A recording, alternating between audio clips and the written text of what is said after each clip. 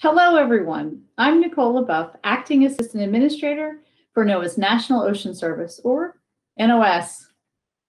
This week, we celebrate Public Service Recognition Week, which honors the contributions of federal, state, county, and local government employees throughout the United States. And I could not be more proud of the team here at NOS. NOS is made up of a diverse, dedicated, and talented group of professionals that cover a wide range of occupations scientists, communicators, contract specialists, grant managers, attorneys, administrative professionals, just to name a few of the experts that help carry out the NOS mission. It's no easy task to concisely and accurately say what we do here at NOS because we do a lot, but I want to mention some of the major initiatives that we lead. The work that we do helps prepare coastal communities to be more resilient in the face of environmental stressors and natural disasters. We ensure safe and efficient transportation and commerce through our navigation and water level products and services. Doing so allows ships to move $1.5 trillion worth of goods in and out of our U.S. ports every year.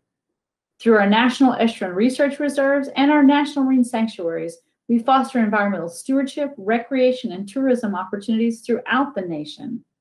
We develop groundbreaking mapping strategies, innovative and ambitious coral reef conservation plans, improvements to cutting edge spatial data tools to support disaster response recovery, and we lead monitoring, charting, and data collection projects.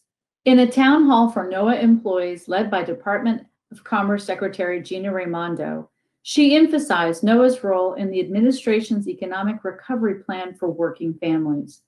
She mentioned the job opportunities that the blue economy offers for all Americans through tourism and recreation, commercial fishing and aquaculture, research and education, construction, technical services, and more. NOS plays a key role in creating jobs for Americans. In fact, it's nearly impossible for most Americans to go a single day without eating, wearing, or using products that come through or from our coastal communities. Americans depend on NOS's services for our very way of life, and I could not be more proud of and thankful for the work that we do. And what we do depends on you. I am humbled to lead such an incredible organization and group of people. So please know that I see you and I appreciate you during Public Service Recognition Week and every day.